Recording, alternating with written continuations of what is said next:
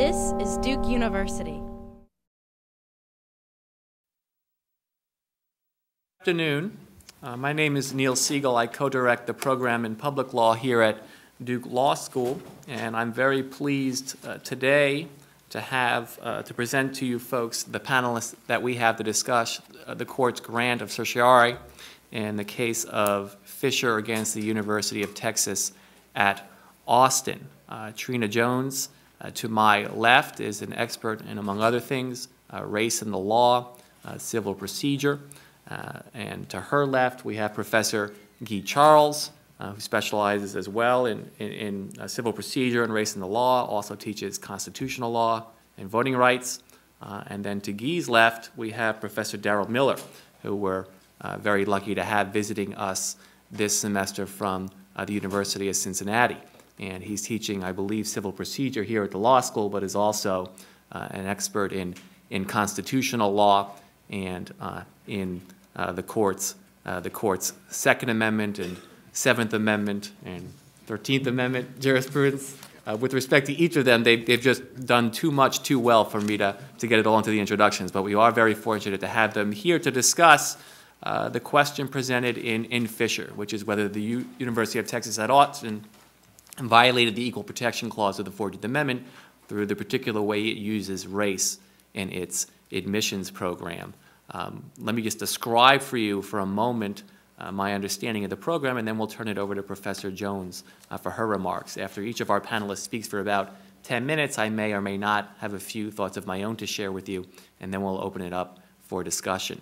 So uh, under Texas's top 10% program, Texas students, that is, Texas residents, uh, at the top of their high school class are guaranteed admission to UT Austin. If you're in the top 10% of your high school class, you're guaranteed admission, and that fills about three quarters to 80% of the slots for the in state students. Uh, the university calls the process for admitting the other quarter, or uh, the other 20% to 25% of students, holistic review.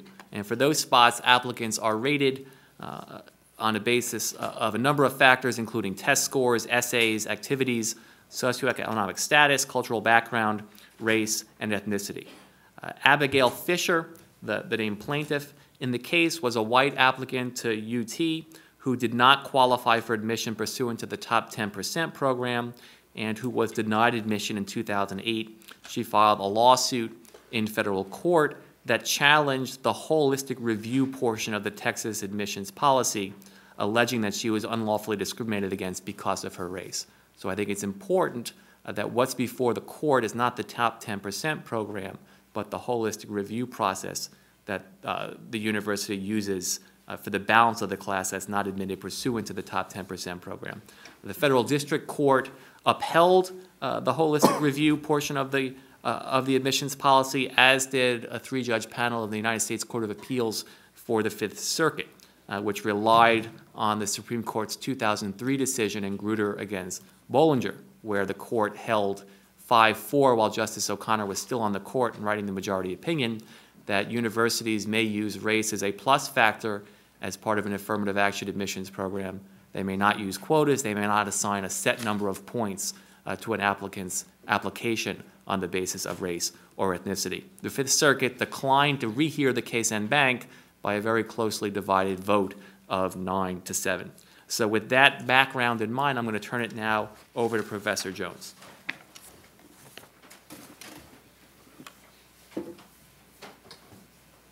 Okay, so I like to stand when I talk. What I thought I'd do as part of my presentation was to situate the Fisher case within the larger uh, socio-political landscape and so what I'd like to do is talk about three things. One, the importance of education to economic mobility. Two, the benefits and harms of affirmative action. And three, I'll offer some uh, thoughts on Fisher and the likely outcome, although it's always dangerous business to try to predict what the Supreme Court uh, will do. But just looking at economic uh, mobility, now it's important to keep in mind that affirmative action programs exist in a lot of different contexts, not just education, but also employment, contracting, broadcast licensing, and so on and so forth. Since, of course, Fisher occurs with regards to education, I thought I'd look at uh, education uh, and its impact uh, on economic uh, mobility. This is from the Brookings Institute and a study that was done by Ron Haskins in 2010 uh, about the relationship between education uh, and economic status. From this figure, uh, you'll note that uh, with increasing levels of education, income tends to uh, increase. So this is from 1964, uh, data from 1964 to 2004, and you'll see that the uh, more educational achievement an individual has, the higher their income uh, tends to be. If you look more closely, so the bottom line are those individuals who are high school dropouts, and then you have the second line are those who have a high school degree, and then four-year college degree, and then professional and graduate degree. The more education you have, the higher your level uh, of income. But note also what happens in terms of this relationship between education and income. Uh, those who have a high school degree or less, high school dropouts, uh, their incomes tend to tend to be stagnant uh, over time, whereas individuals with a college degree uh, or professional and graduate degree have seen an increase uh, over time in terms of uh, their income. The other thing I thought might be interesting uh, to consider, these are high school graduation rates by gender and ethnic group, uh, and note that there is uh, a significant difference between graduation rates of Hispanics, Latinos, uh, blacks, whites, uh, and uh, Asians. in addition to that, college graduation uh, rates are, are different depending upon uh, your race, right? Uh, where we see uh, that whites uh, are almost twice as likely uh, to graduate from college as are blacks and Latinos, and then Asians have exceeded all ethnic groups for some period of time. The importance of this, I only have 10 minutes, so I'm going to go really quickly here, is to show that education is, in fact, uh, a way of getting ahead. Education is tremendously important to economic uh, well being. Turning to affirmative action. Uh, and its role in terms of educational access. It's been well documented that affirmative action has played a role in securing greater access to educational institutions uh, for people of color and for women, especially in highly selective uh, educational institution, elite colleges uh, and universities. The estimates in terms of how important this is range from 2% to 40%, uh, looking at, uh, depending upon which data uh, one considers. But I think the most persuasive uh, data in terms of the effect are the importance of affirmative action programs or what has happened in those cases uh, when uh, affirmative action programs have been uh, abolished. Uh, so, for example, in California in the mid 90s, in the aftermath of Proposition 209, uh, when uh, race was not allowed to be considered in university, public university admissions, rate, enrollment rates dropped substantially by a fourth across the UC system and among flagship campuses within the University of California system by about about 50%. Uh, you see the same thing happening in the aftermath of the Hopwood uh, case in uh, Texas uh, and in the aftermath of the Michigan Civil Rights Initiative in Michigan. Of course, the drop-offs were uh, different depending upon the state, but you see an appreciable decline in terms of the presence of students of color at the flagship campuses within these public university uh, systems. Indeed, in yesterday's New York Times, uh, the president of the UC, the University of California system, uh, in commenting on the importance of affirmative action, uh, said if uh, we had affirmative action as one of our tools, we'd do better with regards to Hispanics and significantly better with regards to African Americans. So, that's some uh, real data in terms of the importance of affirmative action in, ter in terms of securing access for uh, people of color. So there's significant benefits uh, for people of color. The question becomes, at what cost uh, to uh, whites? One of the common complaints that one hears in discussions of affirmative action, especially uh, in recent years, is that deserving whites are being displaced by undeserving people of color, particularly uh, African Americans and uh, Latinos. These arguments were made uh, in 1978 in the Bakke case. We saw them in Grutter and Gratz, the Michigan cases from 2003. Uh, and of course, this is also part of the discussion in uh, Fisher. So the argument here is not only that lesser qualified people of color are being chosen over more highly credentialed uh, whites, but affirmative action, these race conscious affirmative action programs are uh, to blame. Several studies however, have demonstrated that the impact of race-conscious admissions programs on whites is much more limited than the public actually thinks. Uh, and Goodwin Liu, who was a scholar at UC Berkeley, who is now on the California Supreme Court, uh, wrote uh, an influential article uh, dealing with what he called uh, the causation uh, fallacy and why it is that people make this association, erroneous association, between the impact of affirmative action on whites. Um, well, well people overemphasize the influence of affirmative action on educational access for whites.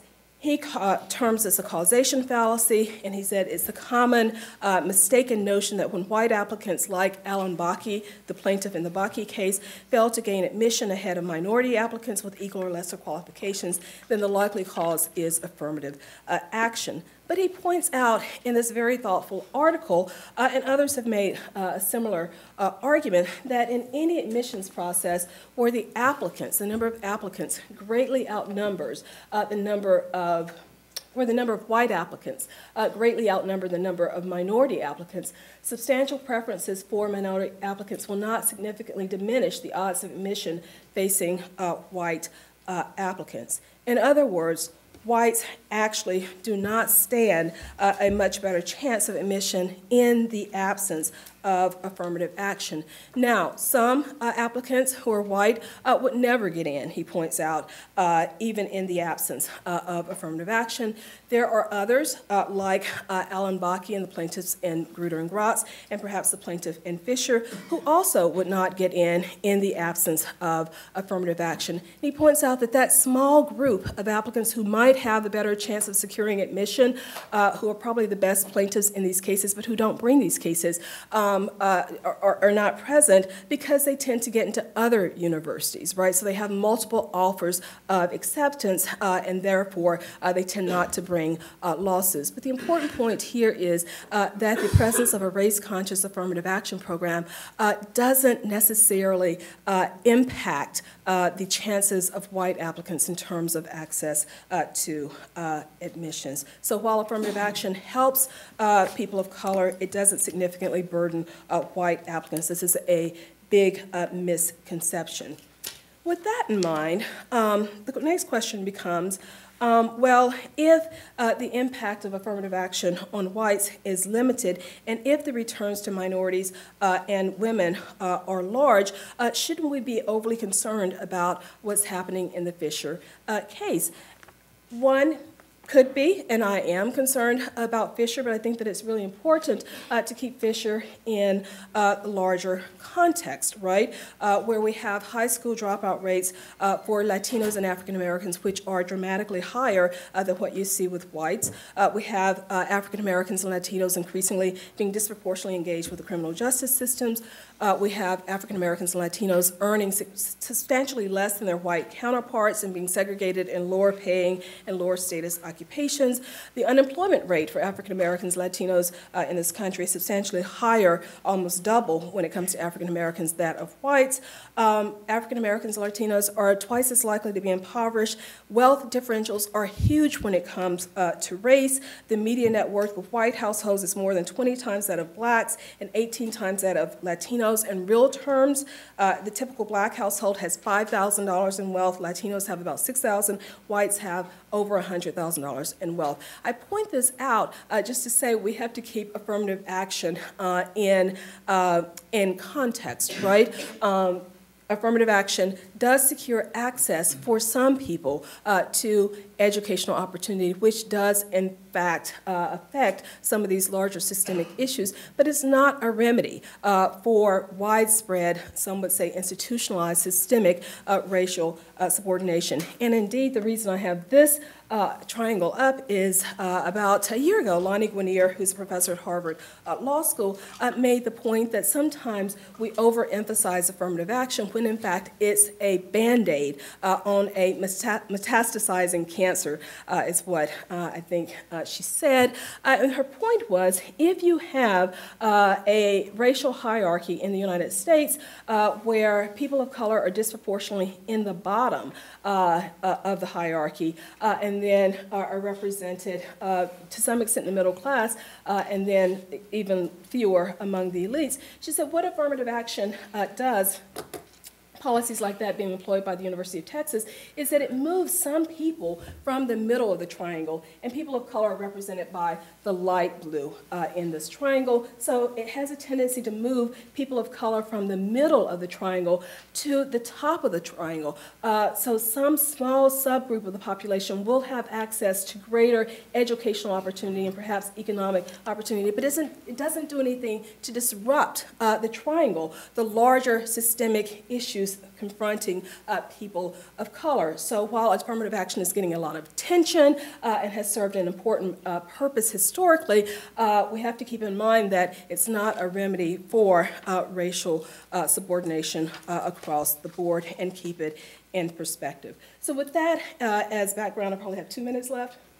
Okay, um, I'm really rushing to try to get this through. Uh, what's the likely outcome uh, in uh, the uh, Fisher uh, case? As I said, this is always a risky uh, business. I tend to be a legal realist, so I think that the changing composition of the court matters a lot, and I've demonstrated how the court has changed in this slide from 2003, when Grutter was decided, to the 2012, which is, of course, the composition of the court that will decide the uh, Fisher uh, case. Note that there's been substantial uh, change since 2003. I think the most important comparison, however, is between uh, 2007 and uh, today, and who is likely uh, to actually uphold or rule against the Texas policy. And as you can see, Justice Kagan has recused herself, um, and so the court is basically split depending upon what Justice Kennedy uh, decides to do. He was a swing vote in parents involved, uh, and he's likely to be uh, the determining vote uh, in the Fisher case uh, as well. I'm assuming that Sotomayor, Ginsburg, and Breyer will uh, uphold, vote to uphold the policy, whereas Scalia, Thomas, and Roberts, based upon what they said and did and the parents involved, are likely to say that it is in fact unlawful. So then um, and, and Alito. So the question is, can Sotomayor, Ginsburg, and Breyer convince Kennedy uh, to somehow uphold this policy? Well, if you look at what Kennedy did in Grutter, uh, you would think where he was with uh, the minority, you'd think, well, maybe uh, not. But if you go look very carefully at the uh, concurring opinion written by Kennedy in uh, parents involved, there might be some room uh, to hope. So just looking at what Justice Kennedy actually said uh, in uh, Parents Involved, he said diversity, depending upon its meaning and definition, is a compelling educational goal uh, that a school district may pursue. So unlike the other uh, justices in the plurality and parents involved, he actually thought that diversity could be a compelling state interest. But then he went on to say uh, what the government is not permitted to do, absent a showing of necessity, uh, which wasn't made, he said, on the facts of that case, is to classify students on the basis of race and to assign each of them to schools based upon uh, that classification. So what he seemed, to, what he did in Parents Involved was to say diversity is a compelling state interest, but you cannot uh, make a race-based classification. That leads me to conclude, um, and if stare decisis is to mean anything, and if the court is at all concerned about legitimacy, I don't think that the court, I think the court is concerned about legitimacy. Um, I don't think the court is going to reverse uh, uh, and Gratz on the principle that the educational benefits of diversity is a compelling state interest. I think Kennedy will sign on to that. He signed on to that uh, in uh, Parents Involved, this case from 2007.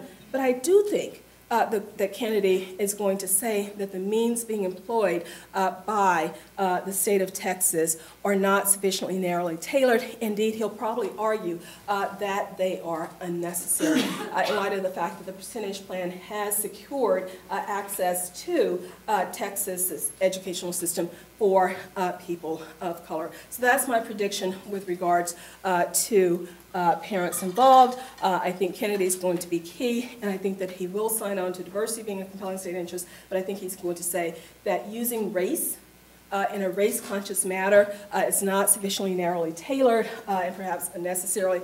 And at the end of the day, I think that basically guts Grutter and of significant uh, meaning. So the principle stands, but it's a principle without any real thrust or, or, weight. And then what's next? Next year, I wonder if we'll be sitting here talking about whether percentage plans are constitutional. And if that is in fact uh, the future, uh, then we are indeed, uh, from my point of view, uh, in a grave circumstance. Thank you.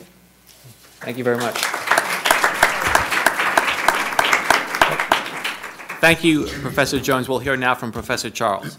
So I am going to pick off, pick up from where Professor Jones left off. Um, clearly, we're all uh, members of the same religious group. Um, we are all worshiping at the altar of Justice Kennedy and uh, praying and divining for some clues as to how the world is going to operate and asking ourselves, oh, Justice Kennedy, what shall we do? What will you do? Uh, so I'm going to talk a little bit about that. I won't be long. Professor Jones uh, covered a lot of what is important here. Um, so the first thing is, and I'll emphasize the fact that Justice Kennedy does think that the diversity rationale is um, an important and a compelling state interest. Uh, and that, at least, is a point of departure um, provides at least a doctrinal framework within which um, the case can be thought about, which is very different from the conservatives, is this fellow conservatives for whom uh, certainly that's the case for uh, for Justice Thomas and likely Justice Scalia, but but more, but also the Chief Justice and Justice Alito, um, that uh, the diversity rationale is not a compelling state interest, and I think this does differentiate Justice Kennedy. And a point that I want to return to is also the place where Professor Jones left off, which is, uh, is this meaningful in any way? So I'll come back to that in a second. The other thing that I think is, is interesting um, is that Justice Kennedy has increasingly shown more solicitude for the circumstances in which uh, folks of color find themselves. If you look at the early Kennedy opinion on race, and then you look at the later Kennedy opinions on race, um, there are two different sets of opinions. In many ways, um, or perhaps in some ways, you might think of Justice Kennedy as evolving in the way that Justice O'Connor evolved. Um, and, in, and what's most interesting is that Justice O'Connor's evolution was completed after she left the court. There was something that she said um, after she left the court, and you and you and you wondered, well, why didn't you say that when you were on the court? Um, apparently, she had some perspectives um, that uh, that uh, provided her with a broader framework than on the court. But uh, but over time, there was an evolution, and I think we're seeing something of, a, of an evolution from Justice Kennedy, and this is also where.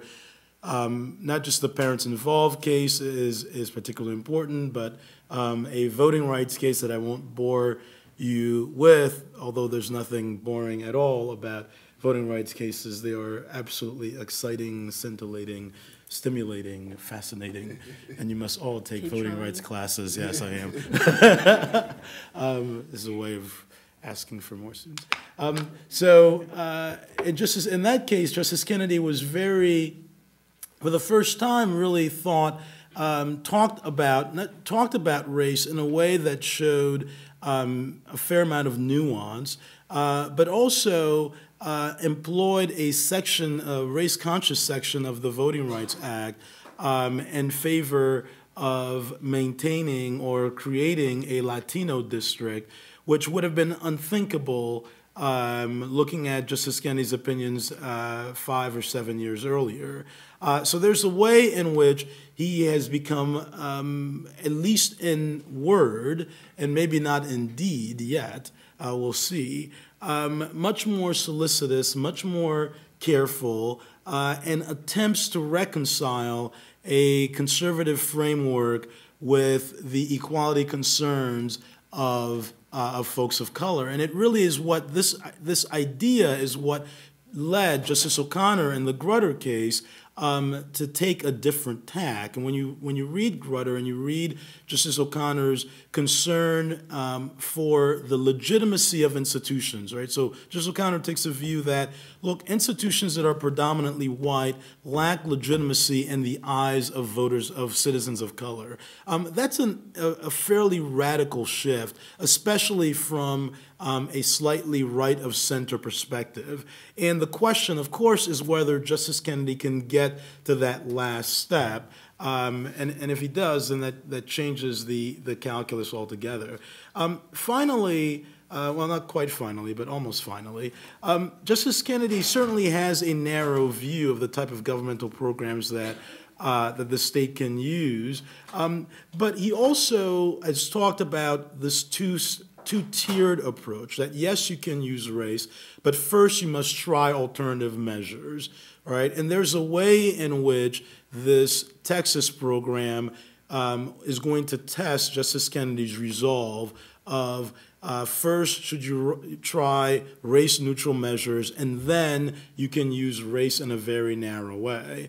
Um, and this also goes to the legitimacy point that uh, professor jones was talking about. To what extent uh, does the court, and, and, particularly Justice Kennedy, care about uh, establishing a framework and having institutions follow that framework? So, what Texas did is they did the top 10% plan, then they conducted conducted extensive uh, research, and the opinion below uh, in the Texas and the uh, Court of Appeals was written by a right of center Court of Appeals judge. Um, really, the, demonstrated that Texas uh, uh, conducted extensive research to show that look, this top 10% plan isn't enough to, to produce the type of equality and opportunities that we want in our educational system. So, for example, we have some classes in which there are no folks of color in, in those classes, and they think that's to the detriment of both the students who are there in those classes as well as the ones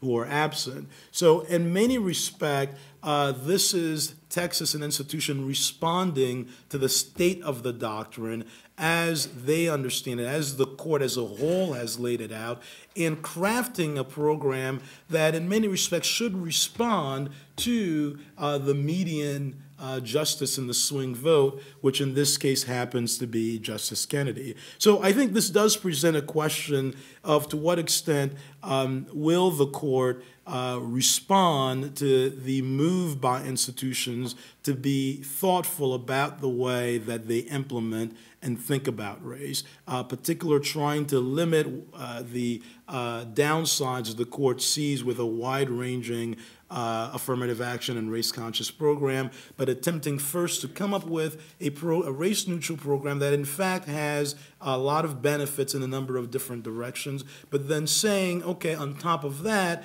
we've conducted the research and see the need for something else, and this is supposed to respond to the doctrine in particular. So now the question is, look, um, and, and in some ways, this is going to be a question as to whether uh, the doctrinal framework does matter, right? I think it does, it will turn on a question of legitimacy. If the lines increasingly keep, if the lines are moved constantly, that is, if the court says, here, as a court as a whole, says, well, here's where we think we ought to draw the line with respect to race, con race consciousness, and institutions follow upon that and draw, and, and draw their plans to respond to where the court thinks it ought to be, and the court continually moves the line, and we're talking about the constitutionality of top 10% plans a year or two down the road, um, then I think to me that calls into question uh, some fundamental principles of how we think about doctrine and how we think about constitutional law, and most importantly, how the court thinks about equality writ large, especially as it regards uh, folks of color. And I'll stop here. Well, thank you. Thank you, Professor Charles. Let's, uh, we'll, we'll hear now from Professor Miller.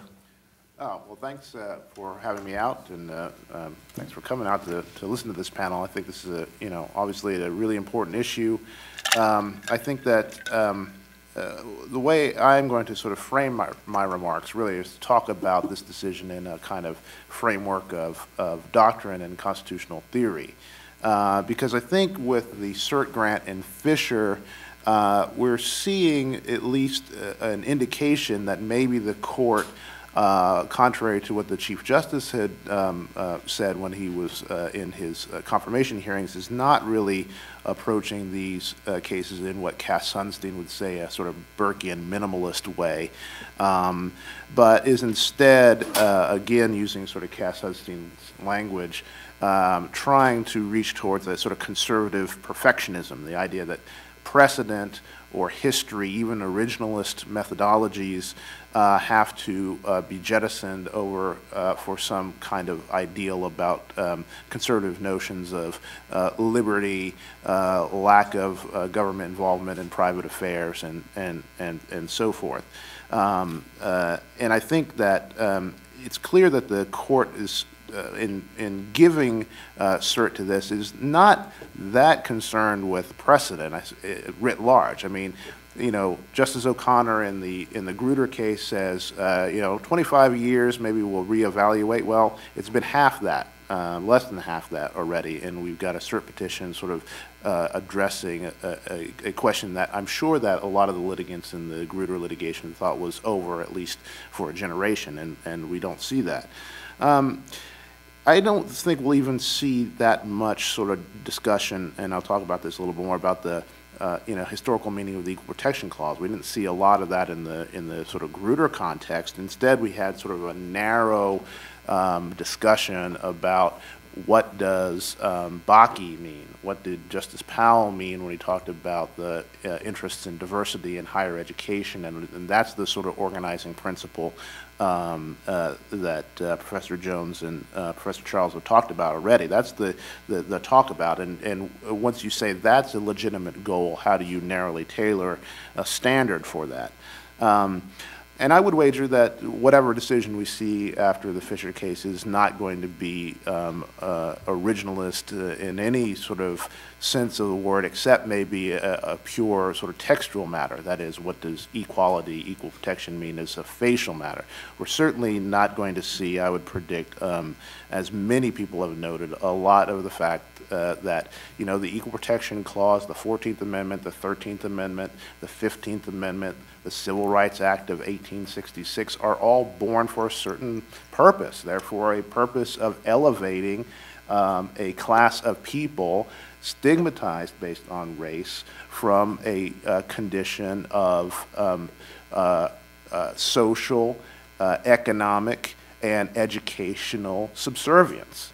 Um, and uh, you know, you would think that it, the, the a court that can create a, a, consensus, you know, about the proper way to at least approach a, a, problem as to the Second Amendment would, if it's really serious about this as an analytical analytical method, you know, see, you know, is there any analog uh, between the Freedmen Bureau setting up um, uh, educational opportunities and what's going on uh, by the states here? Um, but I doubt that we'll see any of that, and, and in part maybe because the train is, has already left the station and there's a, uh, an intense focus on uh, Harlan's idea of a colorblind constitution that tends to sort of evaporate um, most of these notions um, of, of what was the actual purpose of these uh, uh Reconstruction amendments in the first place. So I, I doubt that we're going to see a lot uh, uh, of that discussion. I could be surprised, but I doubt it. So where does that uh, leave us? Uh, well, I think that um, uh, Professor uh, Jones has, I mean, I, identified the, you know, the, um, the decision point very much so, and so is uh, Professor Charles. It's Kennedy. What does Kennedy think? Uh, how is this going to be articulated in a way that Justice Kennedy will either appreciate, and I think that the handicaps that we've seen so far are pretty uh, pretty good. That is, we'll have some uh, discussion about diversity. Uh, again, with uh, perhaps a, uh, a, majority or plurality of the court saying diversity in higher education is okay, um, but then uh, striking down what Texas has done and really leaving a big question about um, what exactly would survive um, a narrow tailoring um, uh, a narrow tailoring test in terms of uh, uh, achieving diversity. Um, and, you know, I think we have to sort of understand this case in the larger context, notwithstanding what um, uh, Professor Charles has uh, just said, it seems to me that what we see with the court in a case like this, or in a case like Ricci, or in a case like um, NAMUDNO, which is the um, voting rights cases, uh, you know, at least a, a plurality of the court really itching uh, to say that the entire Reconstruction slash Civil Rights Project is over. We're all done with that, um, and um, we're not going to be in the business of, of doing any kind of prophylactic legislation or uh, encouragement of, of, of, of these kinds of issues, and that the entire uh, project is done and part of the past.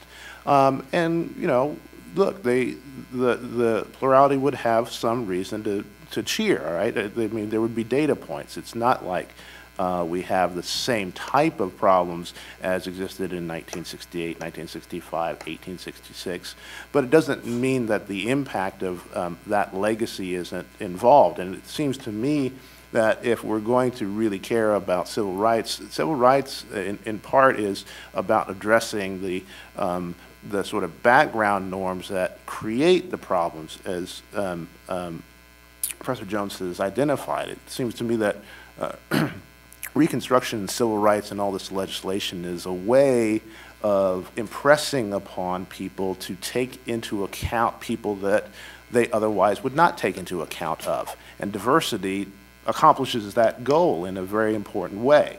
Uh, it puts people at the table that are going to be attentive to things that other people are not going to be attentive to.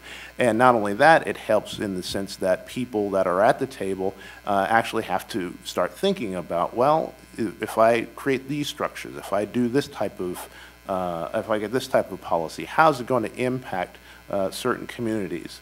Um, uh, and I think that that sort of idea of uh, getting at the sort of res, uh, the residuum of the uh, the fact that we uh, for you know generations uh, was a slave society and for many generations after World War Jim Crow society is something that the court wants to uh, take off the table in, in terms of affirmative legislative behaviors to to get at that type of problem um, and with that I'll turn it over to Neil.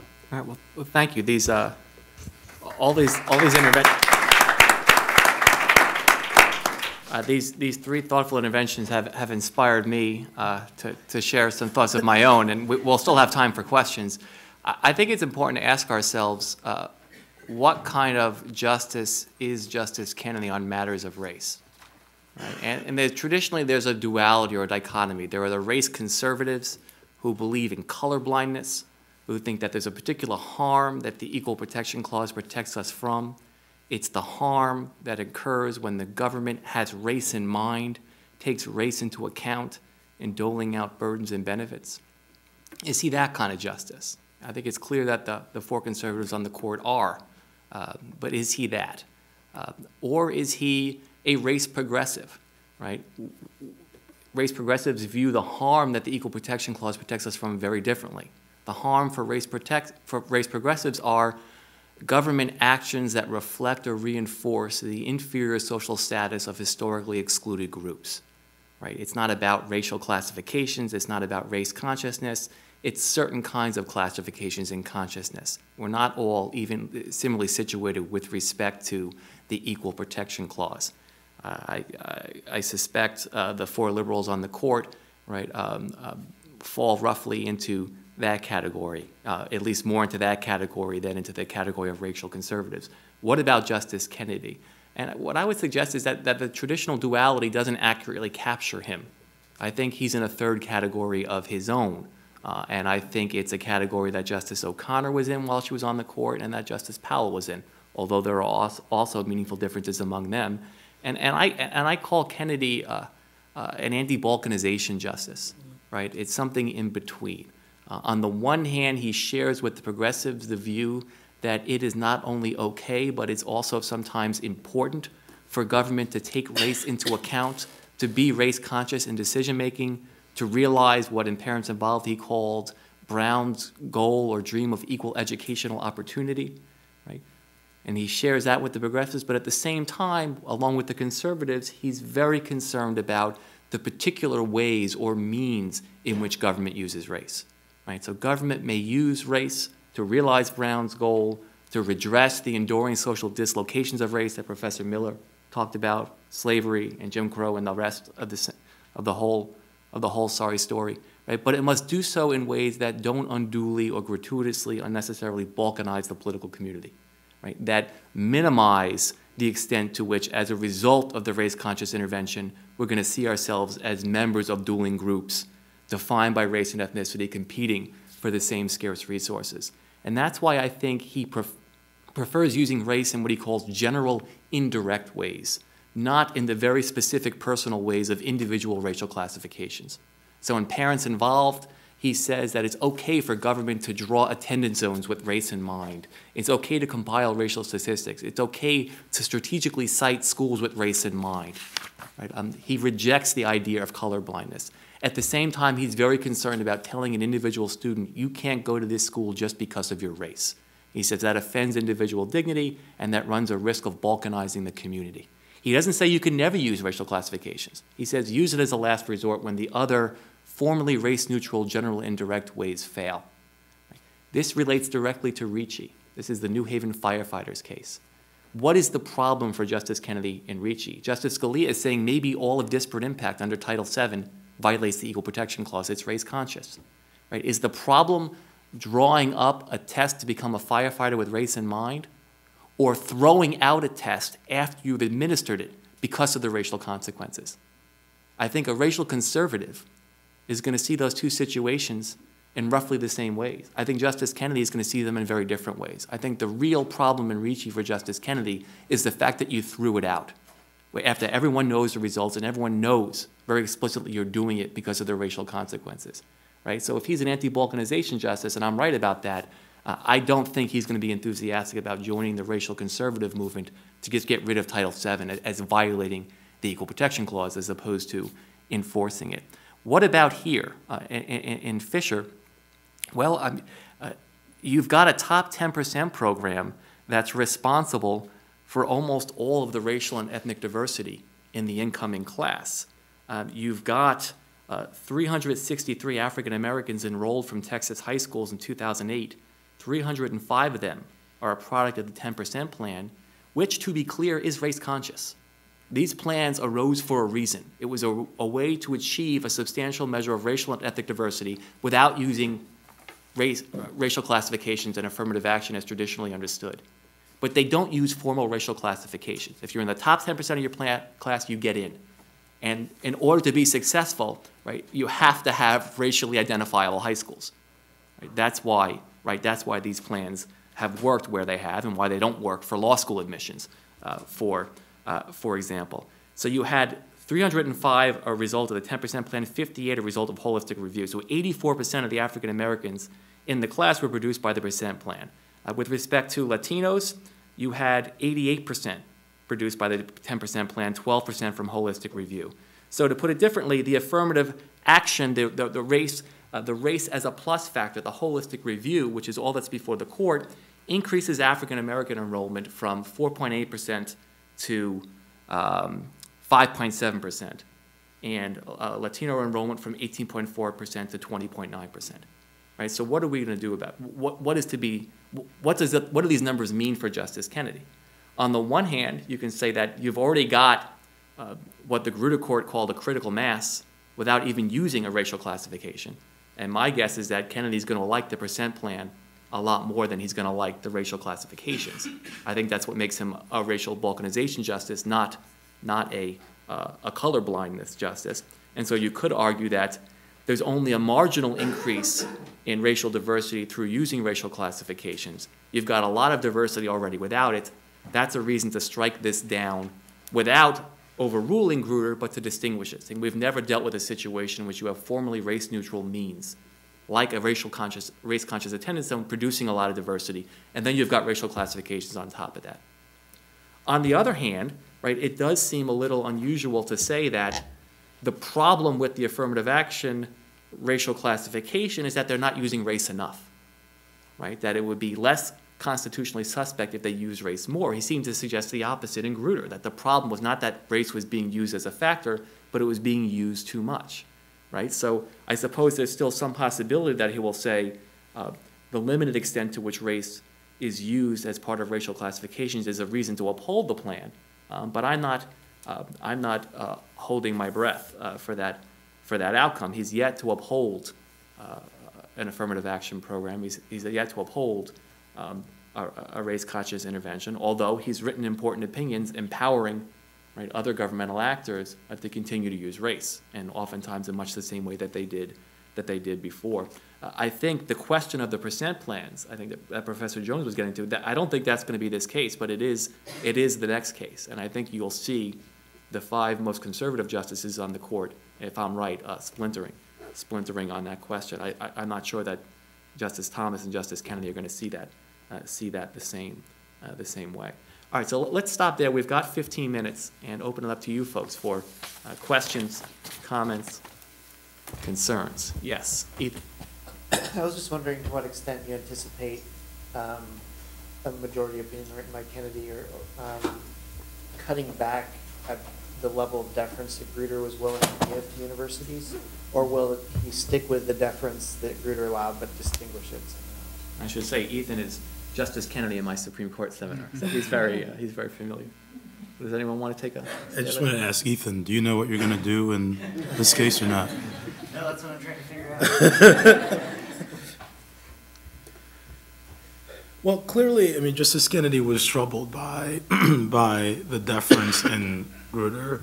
Um, and part of the question is to what extent this case is written in a way that, um, that uses Grutter as a precedent or is written in a way, as Professor Siegel says, that you could say, look, this is a different case from the one that we saw in Grutter.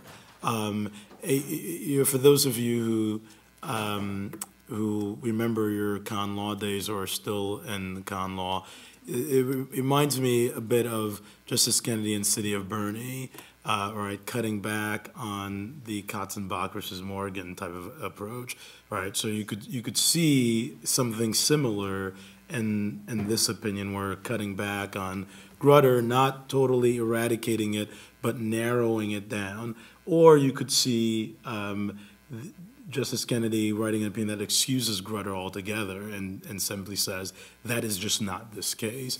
Um, and obviously, I have no idea what, what's going to happen. And if you have no idea what's going to happen, then I'm certainly at sea.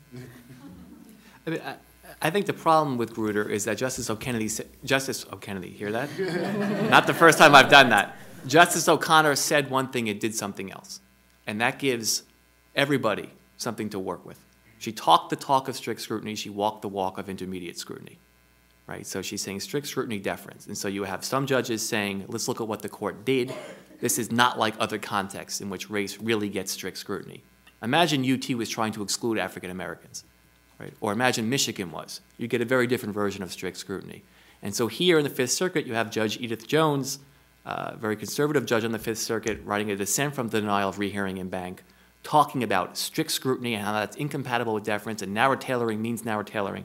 Right? I suspect if Justice Kennedy is writing uh, for himself or for the court, uh, I think it would be very much like him to be. Uh, he could just say this is not Grutter, right? But I, I, I think it would be very much like him to uh, begin the process or maybe end the process, but I think probably more likely to begin the process of recasting Grutter in the terms that he finds acceptable and focusing on what the court said as opposed to what I think the court did.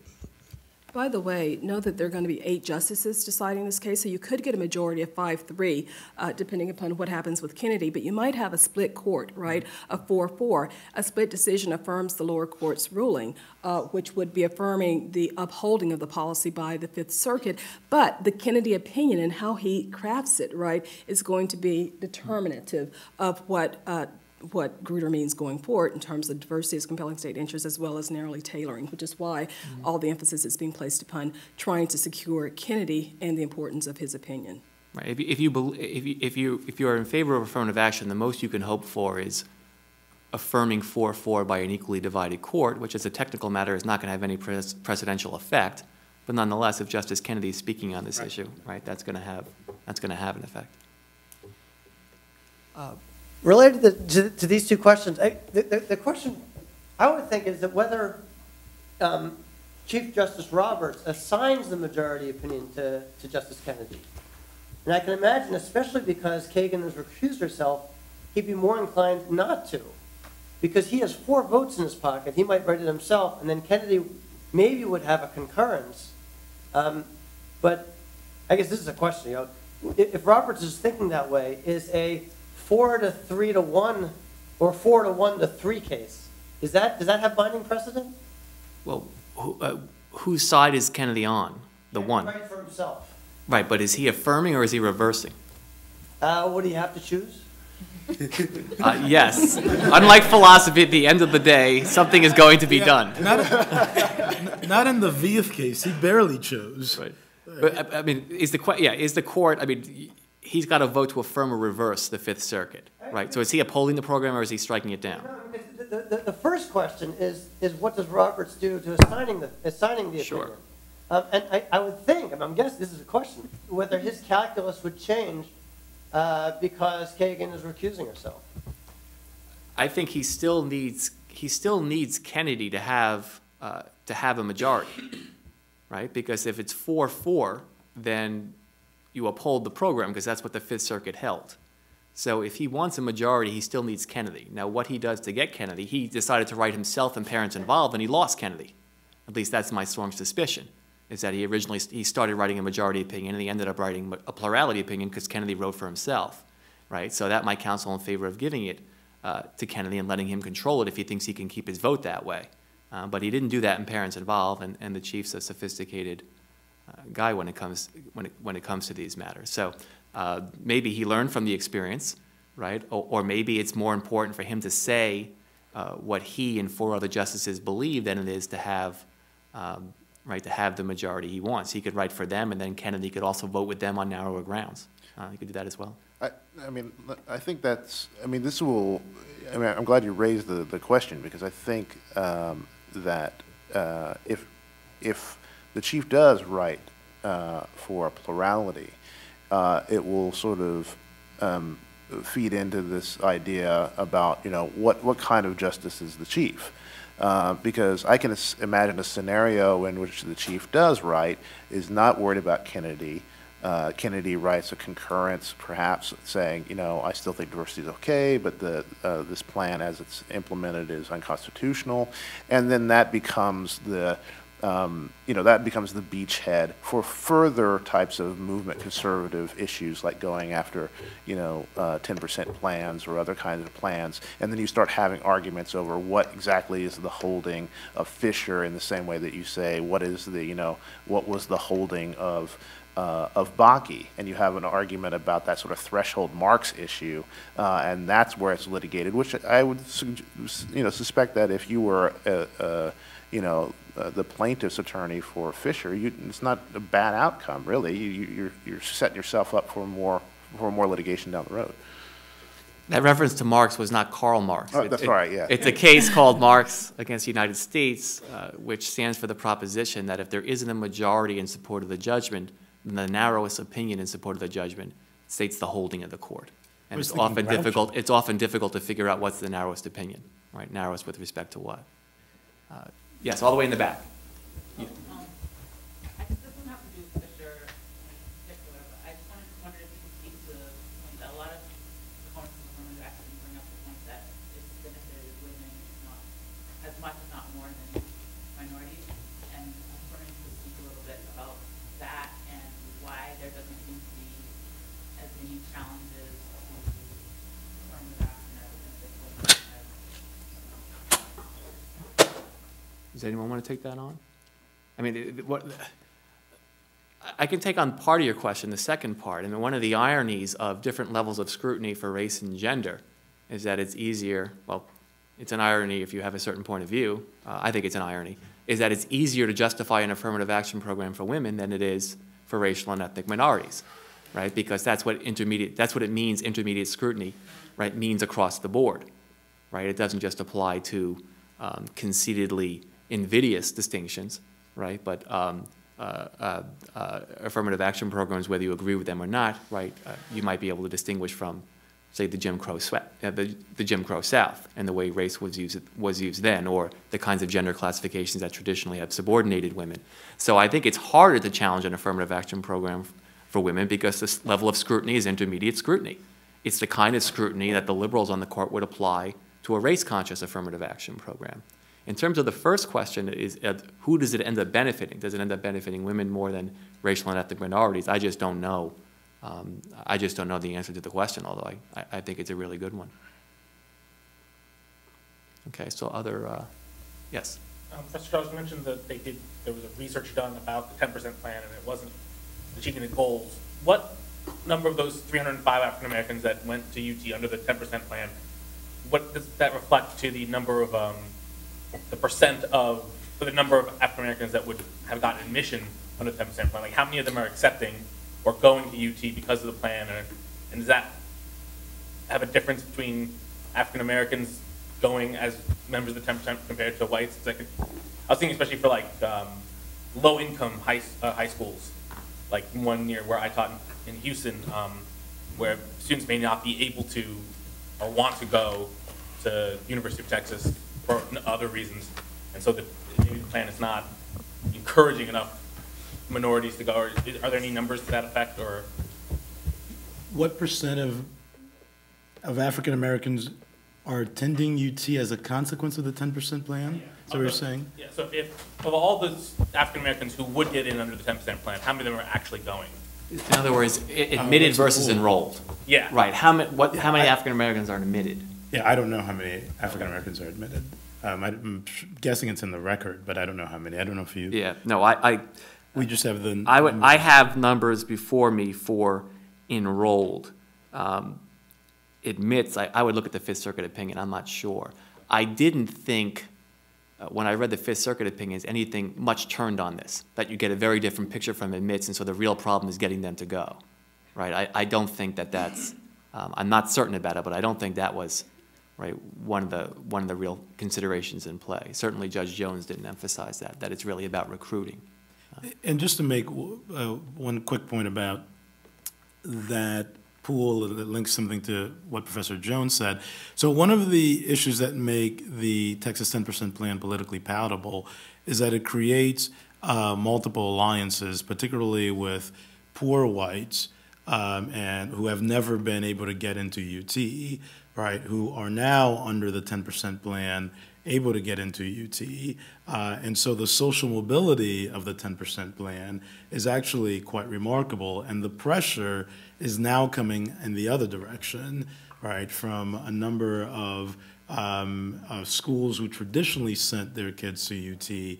Um, but under the 10% plan has become a little bit harder because now you've expanded the different sets of pools of kids that would go to the flagship school. So it's an interesting um, coalition question with different groups of legislators in particular who now have a vested interest um, cutting both across class and race.